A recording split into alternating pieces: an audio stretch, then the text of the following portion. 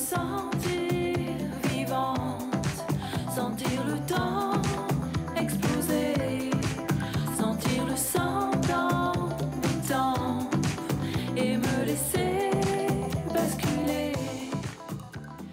And that was Vivant, the first single of Kee-Yoon's upcoming debut EP, Palli Palli. After studying at France's top schools, the Franco Korean artist started off as a lawyer. She worked for four years at one of the country's leading law firms before dropping it all to pursue a dream stand up comedy, drawing rave reviews. And now she's starting all over again to follow another dream music. Kee-Yoon is in the studio to tell us more. Thank you for being here. Thank you, Marjorie, And- for welcoming me. Oh, absolutely. Congratulations on this up and coming EP. Uh, we were just checking out your video, uh, Vivante, uh, Vivante, which means alive. Is that where you're at with your life? Are you very much in touch with being alive?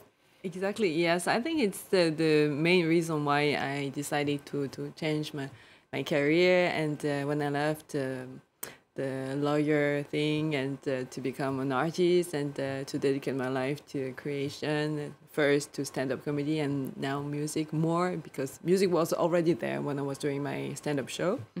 But uh, yes, that's the main reason I think. hmm And you talk about a lot of this idea of uh, that, you know, death is something that awaits us all in one form or another. Is that something that drives you in your creative? Yes, a lot because yeah, when when you have to to to talk about uh, being alive, you know, it's because it's opposed to to yeah the idea of very short life and the death and like waiting for us somewhere, and um, I think it's not that sad actually. It's uh, um, a way of uh, enjoying life like fully. Yes, making the most of it. Um, now, the EP is coming out on the 18th of January and it's called uh, Palli Palli, which means quickly, quickly in South korea Exactly. Yes. Yeah, uh, that's parent, uh, where your parents are from. Uh, why is there a need for speed? Will you not, do you not want to take things slowly? Would you rather go fast in life? Well, it's not fast in general. It's fast about that thing that we were talking about. Like the end is coming pretty, I think, quickly. So we have to live and enjoy life quickly as well. Yeah. I think like uh, it's coming like uh, without like um, saying I'm coming. So Yeah. I think we have to to be very aware that it's very short. Yeah. So that's why I say quickly. It's not about being like fast in life, but uh, No, it's more good. about the fact that it's I think shorter than we think. Yeah, we never know when it can end. Um, Exactly. let's take a look at another track of yours that was rele- released a few years ago. It's called L'amour avec une brique. Uh-huh. On dirait un gros chocobon qui font hum, hum, c'est trop mignon. J'ai très envie de te dévorer par petits bouts, de manger tout entier. Mais tout d'abord, je dois te séquestrer, t'attacher. Je t'aime tellement que j'ai envie de t'amputer les paupières, de massacrer, de dépecer, de gifler avec. L'amour avec une brique, uh, Love with a Brick uh, by Franco-Korean artist Kiyoon. Now, uh, it's a song that appears at first look very sickly sweet and it's kind of draws in this sort of, you know, like in the 60s, those sort of music. But the, the lyrics are pretty dark. Um, You know, I, I love you so much, I want to cut your eyelids lids off. And that's Yeah, quite awful. dark humour. Um, and you were performing it initially as uh, Jaune Bonbon.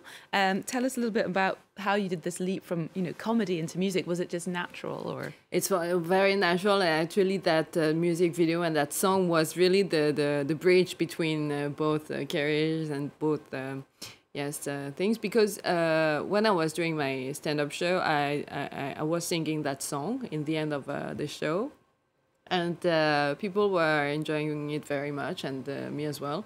And I was like, really into singing, but uh, I didn't think at that time that I was able to sing or to pretend to be a singer.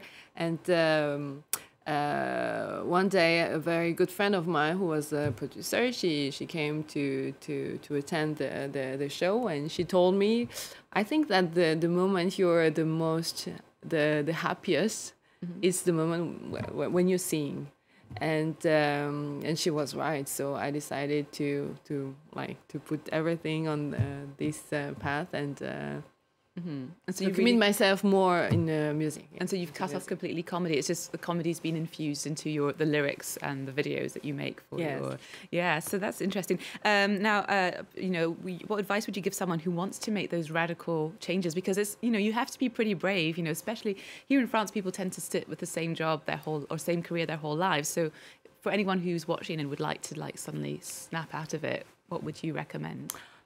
Mm, I would well, uh, I know it's uh, well. It was very hard to make that decision, but I think that I had to like close my eyes about everything because if you like start to think what uh, are the consequences of everything, it's like too scary. Mm-hmm. So um, stop thinking and just uh, maybe um, imagine that. Um, the last day of our lives, you know, the only person you have to face is yourself mm-hmm. and your mirror and say, what did you do with your life? Mm-hmm. Have you been happy? Yeah, no, that's exciting. Also, talking back at the, being a newbie in the business, you're surrounded with really good people. Uh, you mentioned your friend who came to your show, uh, but also you teamed up with, uh, with Sylvie Hoarau from Brigitte. Yes, I was so lucky. I met uh, Sylvie Hoarau. She's mm. the half of uh, the very famous band Brigitte, yeah, who are very, was, yes. very much loved here in France. Exactly. You know. Yes, I was already a very huge fan of uh, what she was doing within Brigitte, and when I met her, we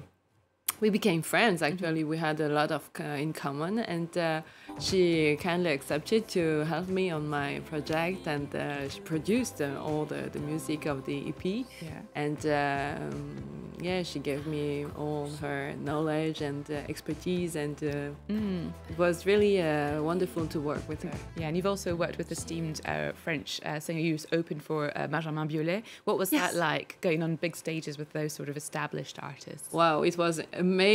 I, actually, it was amazing, like in my real life, because I received like messages from my friends from kindergarten. I think yeah. because Benjamin Biolay is a really a huge star in France. Huh? Like uh, so many fans of uh, him. So. Mm-hmm. Yeah, it was a big step, um, I think, in my life to, yeah. to be able to meet him for the first time and to sing with him on stage. Well, before him, and uh, I'm super grateful. Yeah, Okay, and uh, well, just finally, very quickly, uh, after stand up and music, any other next things you'd like to, to do?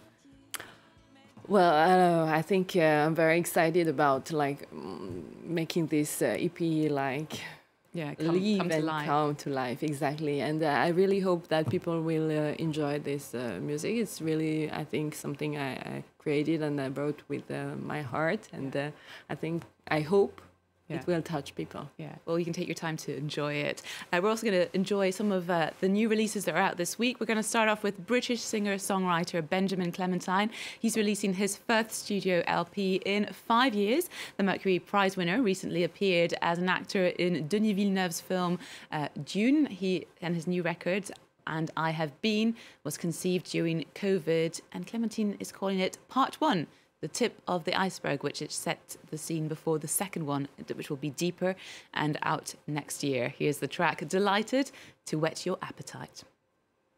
We learn, we earn, we turn, we burn. We lean, we learn, we earn, we turn, we burn, then start again. Cause we're delighted let's uh, move on to our next artist, who is a popular and outspoken Russian rapper, Oxxxymiron, whose real name is Miron Fyodorov. He was he has released a new album called February 23. The title refers to the day Russia launched a full-scale invasion of Ukraine. Oxxxymiron was quick to speak out against the war, calling it a catastrophe and a crime. He subsequently left Russia and gave a series of concerts in Turkey, Britain, and Germany entitled Russians Against the War A few days ago, Russian officials added him to an updated list of foreign agents.